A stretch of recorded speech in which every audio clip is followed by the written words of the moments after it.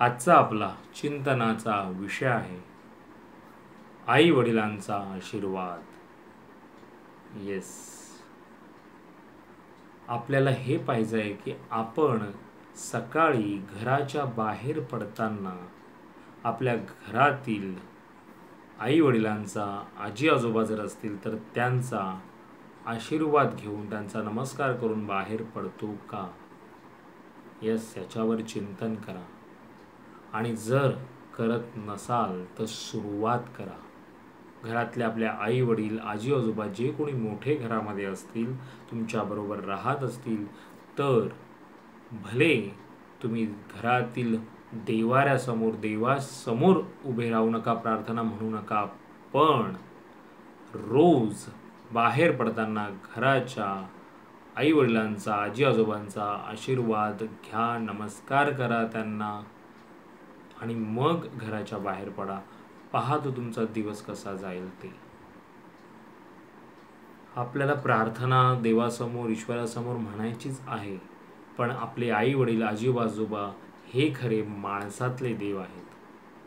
आपल्याला लहानपणापासून जे कोणी आपल्याबरोबर पहिल्यांदा असतं जे कोणी आपल्याला काही गोष्टी शिकवतात बोलायला शिकवतात बडबड करायला शिकवतात ते असतात आपले आई वडील आणि त्यामुळे आपले आई वडीलच हे पहिले गुरु असतात.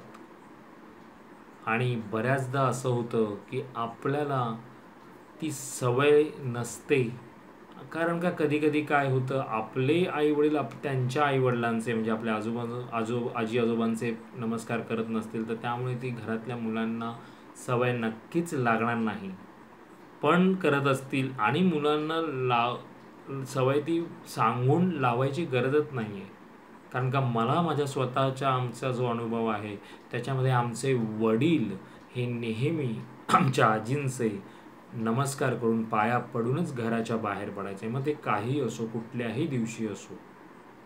त्यामुळे आम्हाला कधी सांगावं लागलं नाही.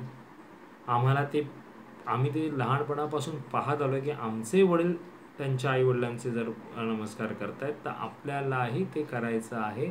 तर तीच आम्हालासुद्धा सवय लागली. आम्हीसुद्धा घराच्या बाहेर पडताना मग ते कड कुठेही असो शाळेत जाताना असो कॉलेजला जाताना असो नंतर नोकरीसाठी बाहेर पडताना असो आई वडिलांचा न आणि घरात आजी असताना त्यांचा नमस्कार त्यांचा आशीर्वाद घेऊनच आम्ही बाहेर पडायचो. आणि मी तर म्हणेन तेच तुम्ही देवासमोर उभे राहून प्रार्थना दोन मिनटं म्हणण्यापेक्षा आणि तो आशीर्वाद घेण्यापेक्षा हे जे माणसातले देव आपल्या घरामध्ये असतात त्यांचं पहिलं पहा. पहिलं त्यांना त्यांच्यासमोर नतमस्तक व्हा. आपोआप ईश्वर तुमच्यापुढे कृपा करेल तुमच्या आयुष्या आयुष्यामध्ये भरभराट ही नक्कीच होईल कसलीच कमी तुम्हाला पडणार नाही त्यामुळे माझ्या तरुण मित्रमैत्रिणींनो ह्याकडे लक्ष द्या. याच्यावर चिंतन करा की आपल्याला हे करायचं आहे ही सवय लावून घ्या. तो दिवस काय त्याचं पुढचं आयुष्य तुमचं मार्गी लागेल आणि तुमच्यामध्ये जो विश्वास आहे ना तो तर निर्माण होईलच आणि खूप छान आयुष्य तुमचं सुरू होईल.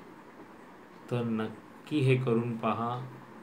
आणि जे करत असतील तर छानच आहे. तुमच्या घरातील पुढच्या पिढीपर्यंत ते पोहोचवा सांगायची गरज नाही आहे तुमच्या कृतीतून ते गेलं पाहिजे. त्यामुळे नक्की याच्यावर चिंतन करा. आई वडिलांचा आजी आजोबांचा घरात असतील तर नक्कीच त्यांचा नमस्कार करून घराबाहेर रोज बाहेर पडताना हे केलं गेलं पाहिजे. तर नक्की याच्यावर चिंतन करा. उद्या भेटू पुन्हा एकदा नवीन विषयासोबत. तोपर्यंत नमस्कार.